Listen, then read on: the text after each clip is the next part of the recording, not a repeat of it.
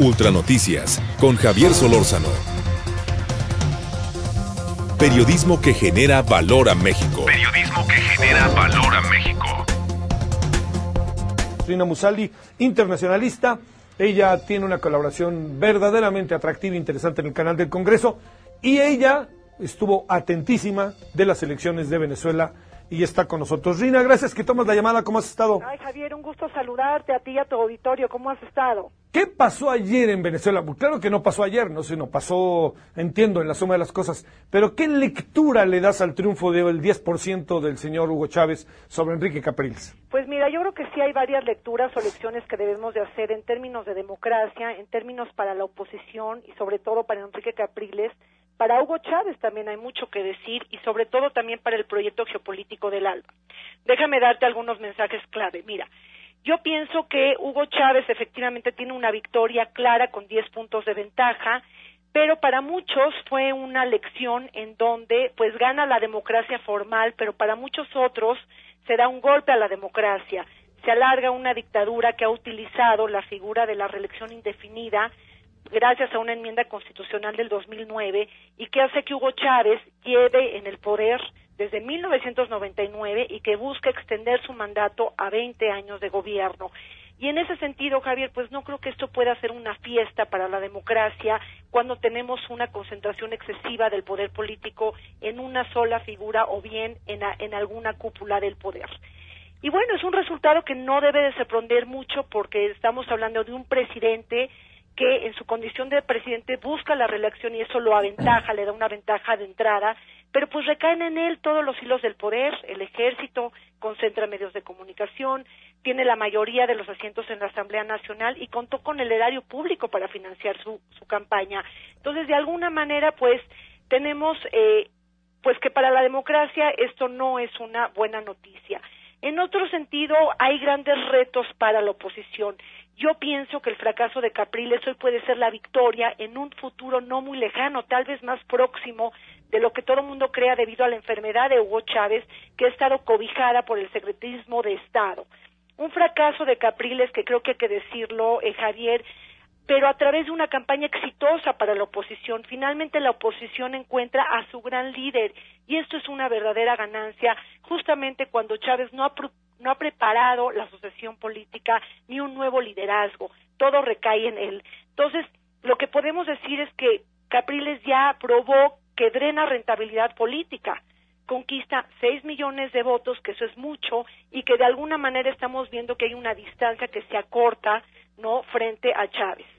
Y bueno, finalmente una oposición que ha estado muy dividida durante la primera década chavista, pero que se cuestiona a través de la figura de Capriles y que tiene su gran parte aguas con estas elecciones parlamentarias del 26 de septiembre del 2010, en donde conquista 67 de los 165 escaños de la Asamblea Legislativa, si es que no me equivoco. Entonces, yo creo que aquí es importante. Ahora, varias cosas. Digo, la oposición tiene que mantenerse unida alrededor de la mesa de unidad democrática, tiene que mantener encendida esta flama. ¿Cómo le hacemos para mantener encendida y avivar esta flama de los seis millones de votantes a favor de Capriles para ahora seis años de gobierno más? Pero además también muchas cosas pueden suceder, Javier. Yo creo que hay que estar preparados porque nadie sabe si Hugo Chávez da a culminar con su mandato hasta el 2019 debido a que conocemos que está enfermo, pero no sabemos los detalles ni la condición verdadera de su estado de salud.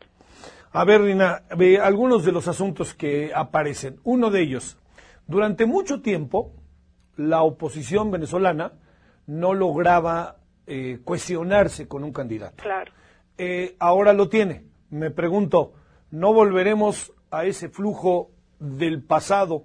ya que acabó la elección, y Capriles sea un buen líder, un buen interlocutor, pero otra vez la oposición venezolana no encuentre procesos de cohesión interna que a estas alturas son importantísimos para las, para las elecciones departamentales o para las elecciones municipales?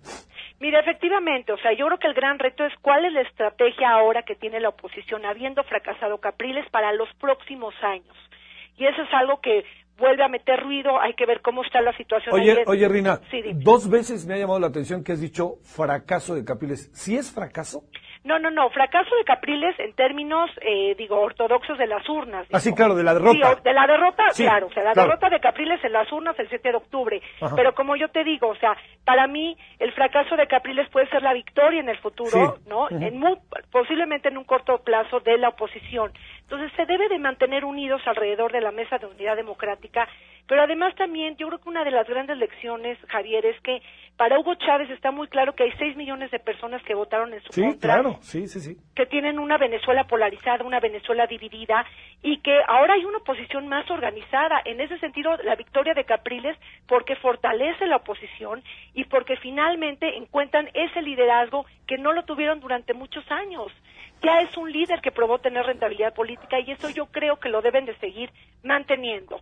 Ahora, también entendamos una situación económica muy desgastada en, en en Venezuela, en donde pues Capriles va a tener que seguir haciendo hincapié. Tenemos una crisis agropecuaria enorme, importación de alimentos creciente, déficit en materia de vivienda, hiperinflación del 25% o más, un racionamiento, ¿no? eléctrico del consumo y entonces todo esto en un panorama que se conjunta con la criminalidad y la inseguridad, entonces de alguna manera la oposición va a tener que mantener viva pues esa esa bandera del descontento para poderla capitalizar más adelante.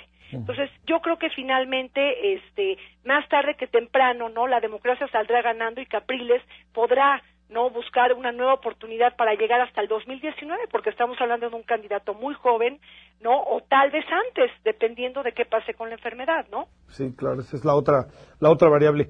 A ver, en términos de este secretismo que se ha mantenido la enfermedad de Hugo Chávez, eh, yo recuerdo haber leído informes que decían que no aguantaba de aquí a marzo del año que entra. La información que tú tienes o de lo que tú has podido ir recuperando, de fuentes de a de veras, ¿no? Este, ¿qué, ¿Tienes alguna hipótesis de lo que puede pasar ahí? Pues mira, la verdad es que sí se han manejado muchas dudas y muchas conjeturas, pero efectivamente, o sea, alrededor de la enfermedad del presidente todopoderoso, pues se ha impregnado el juego electoral y bueno, sigue esta secrecía de Estado, ¿no? Hay muchas cosas que se dicen, algunas gentes dicen que ya está en su fase terminal y otras no. Entonces, aquí lo importante es que lo que se está lo que se jugó ayer en Venezuela, eh, Javier, y creo que esto hay que dejarlo claro, es que también se, se, jugó el destino de otra parte de los países de América Latina. Me estoy refiriendo a los países del ALBA. Es decir, no nada más los países del ALBA están bien preocupados por la enfermedad del presidente. Digo, sí es una victoria a corto plazo, pero también les da miedo cómo vaya a qué vaya a pasar con la enfermedad del presidente. A lo mejor no termina su gobierno hasta el 2019 y eso implicaría una derrota a todos los países como Nicaragua, Bolivia, Ecuador y Cuba, que de alguna manera se han financiado pues esta gran bonanza petrolera y de este proyecto geopolítico que Chávez busca exportar a otros países.